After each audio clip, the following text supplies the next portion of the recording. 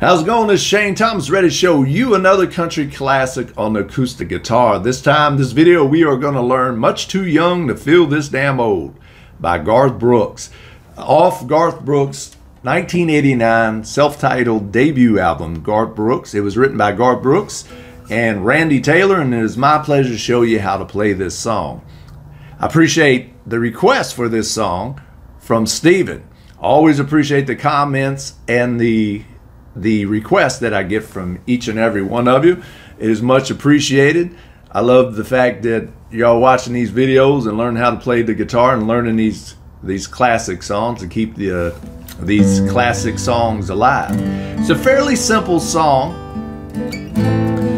The intro is a little it can be a little advanced.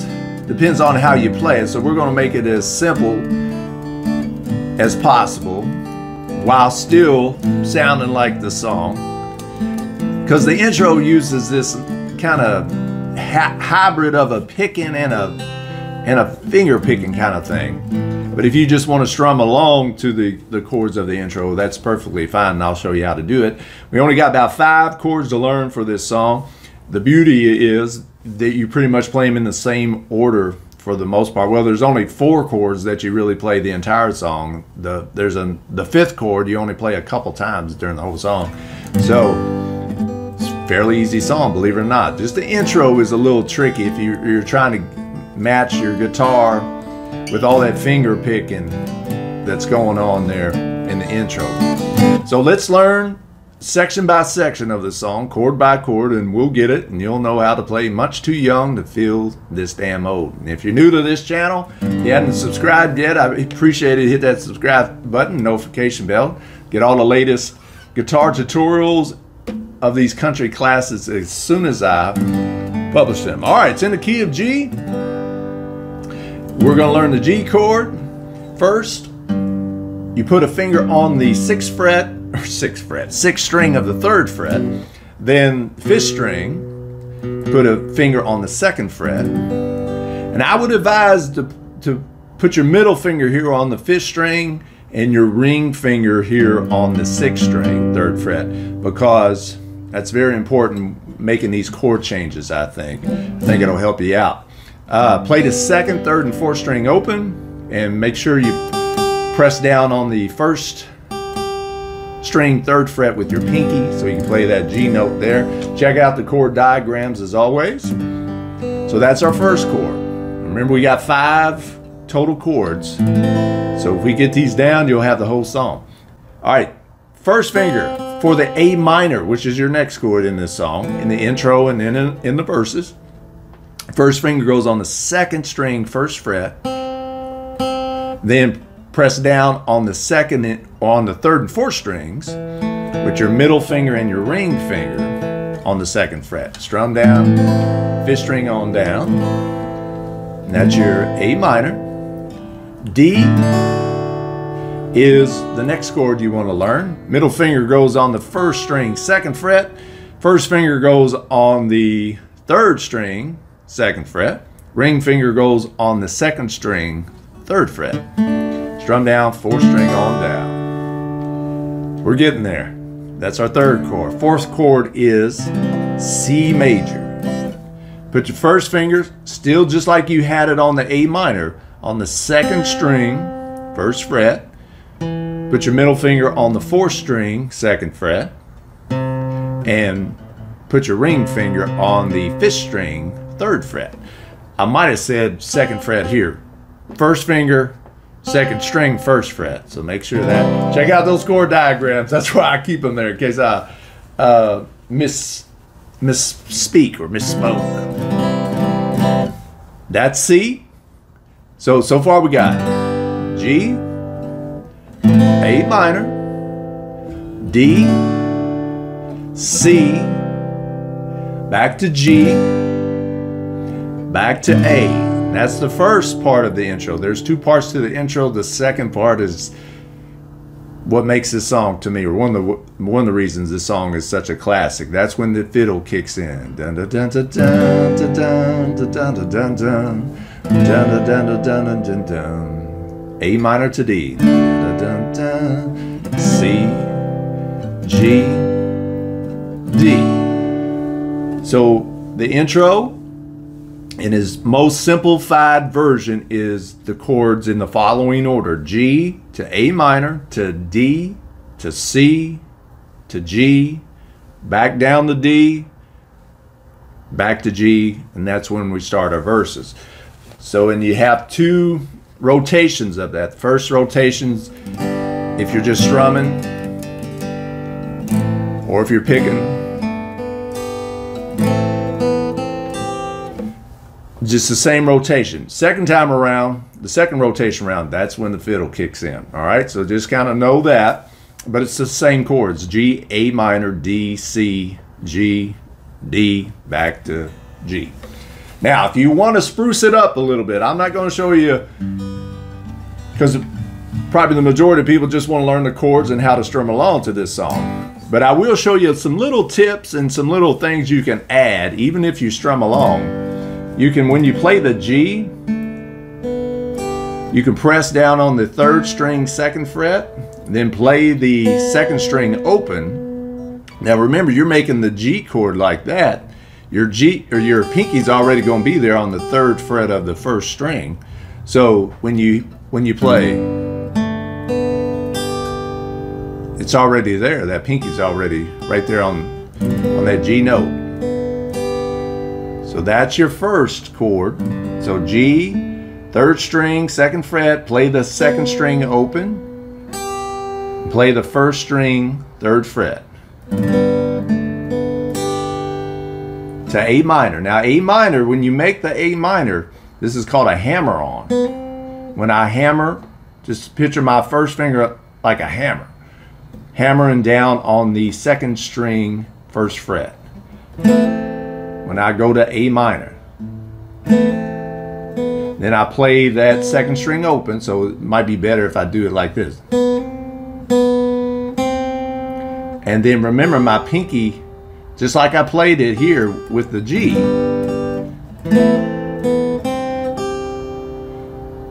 And that's how you get that sound in that intro when he does that A minor. So, G, A minor, play the first fret, second string, then play it open. Now you go to the D chord. Kind of do the same thing like a hammer on like we did with A minor, but this time we're hammering on with our middle finger when we're playing the D. So down, play it open, then play that third fret of the second string. Remember, you're doing all this with the already playing those chord shapes anyway. So, so far.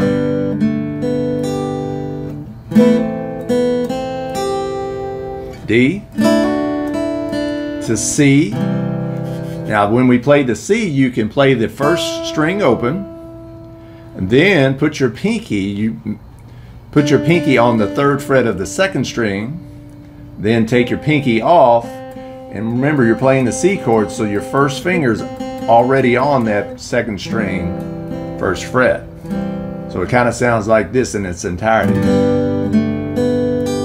G, A minor, D, C,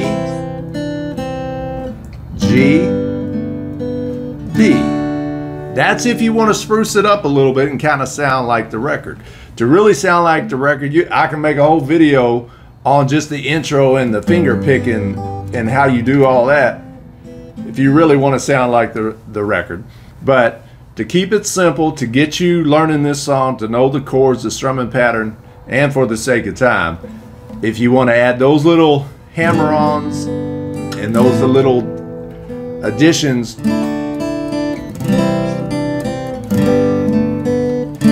to the intro, you can. The rest of the song is lot simpler than the intro is. All right, let's get to the verses. First verse, you're still kind of doing the picking pattern, just like you did in the intro. But if you don't want to do that, just strum along. Uh, the second verse, which we'll get to, of course, is where you, if you're trying to play along with the record or wanting to sound like the record, That's when you really start strumming. But you can strum anytime you want. But at first it's this old highway's getting longer. Same chords, G, A minor. Seems there ain't no ends in sight. So G, A minor, D, C, G. Do it again. Sleep would be best, but I can't afford the rest. Gotta ride in Denver tomorrow night. See the same chords for these verses, just like you did the intro. The picking pattern. Now, I wasn't really concentrating on my picking pattern there when I was singing. I just want you to know the chord progressions. And you know, as y'all watch these videos, you know I don't get hung up on the strumming patterns too much. I'm more about feel, whatever works best for you, whatever style you want to play. But if you're trying to play along with the record, the first verse, this old highway's getting longer verse, is he's picking it. But then the second verse, when poor Garth called that house, called his house, nobody's answered for two weeks. We know what's up, don't we? That's starting strumming. Call the house, but no one answers. G, A minor. D, for the last two weeks, no one's been home.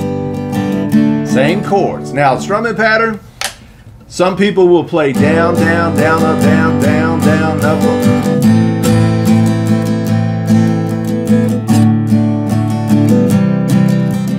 Some will play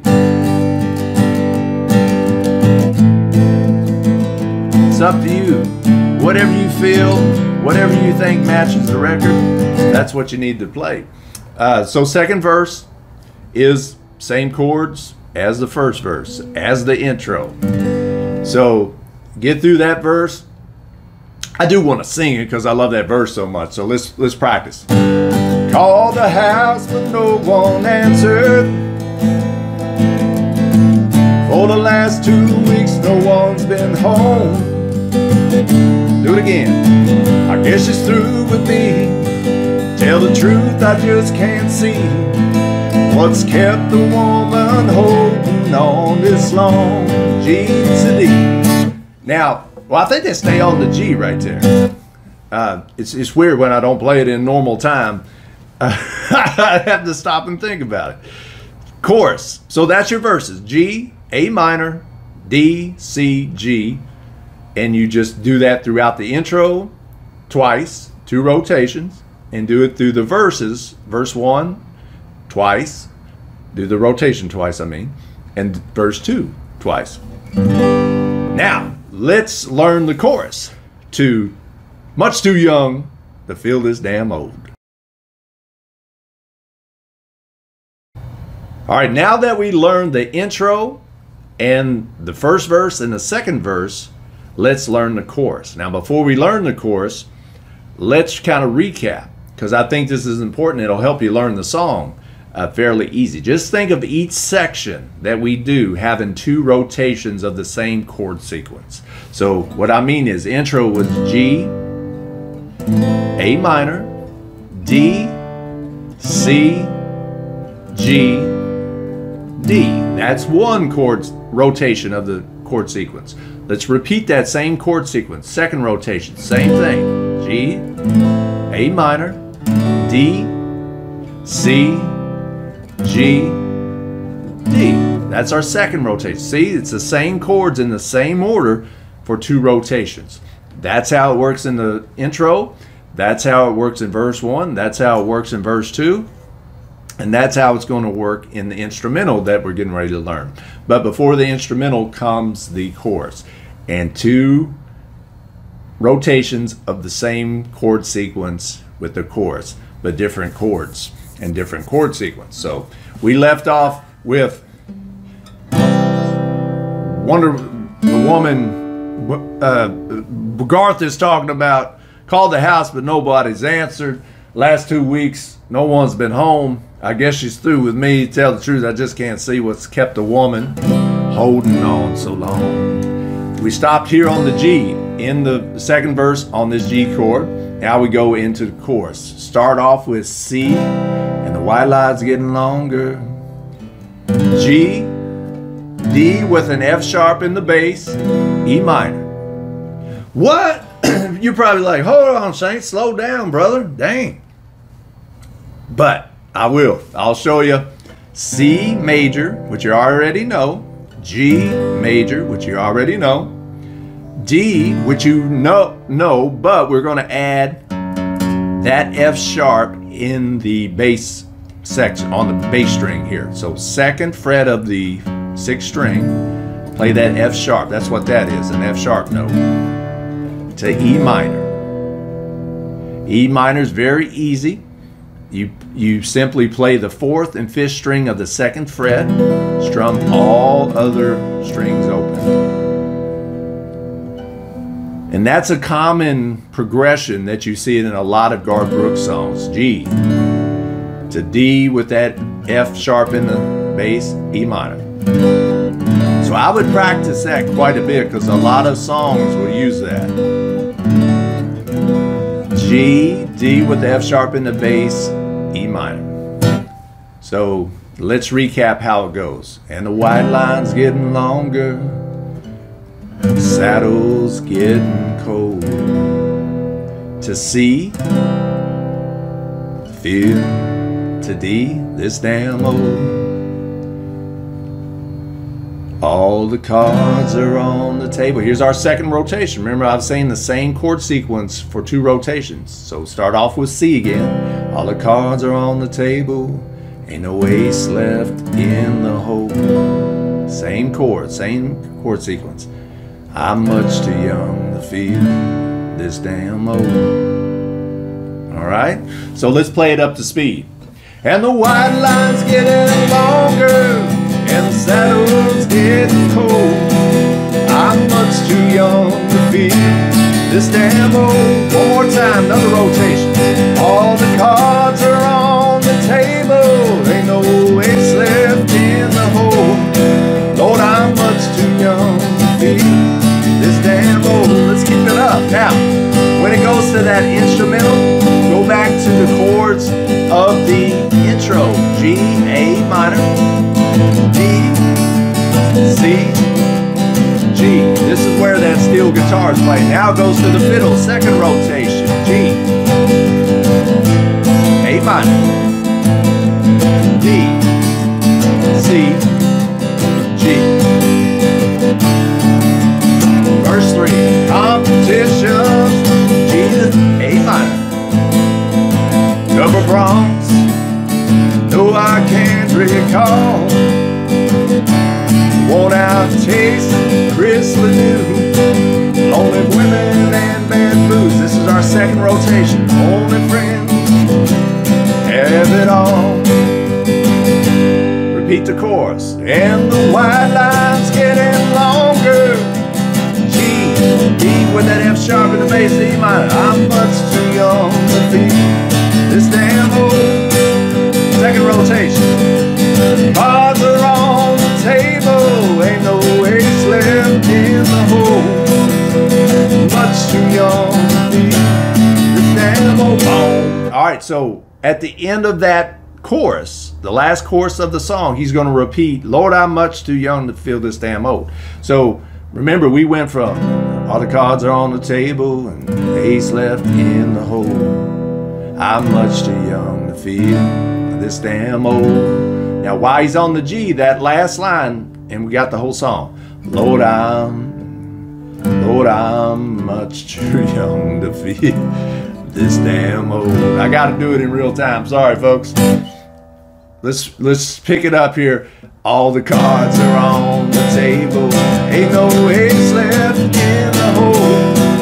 I'm much too young to feel this damn old with the F sharp minor to the E minor. Lord, I'm much too young to feel this damn old. And that's how you end the song. Yeah, it's, it's wild when I slow it down and have to think about it. Uh, sorry about that. So yeah, the end of the last chorus, you do that progression. Lord, I'm much too young to feel this damn old. Then you stay on that G. Then you end the song. And that's how you play Much Too Young to Feel This Damn Old by Garth Brooks. What a song. Hopefully, you learned how to play, learned all the chords. Like I said, you can fancy it up as much as you want. Simplify it as much as you want, as long as you know the right chords, which are the G, the G, A minor, D, C, G, D, and back to G for your intros, your verses, and instrumental. Chorus, C, G, that progression. So you just got five chords to learn, and um, and that's it. And you just, I think, an important thing to remember is doing those two rotations for each section of the song, and I think you get it. So if you like this video, hit that like button. If you haven't already, hit that subscribe button and notification bell so you can get all the latest acoustic guitar lessons and guitar tutorials as soon as I publish them.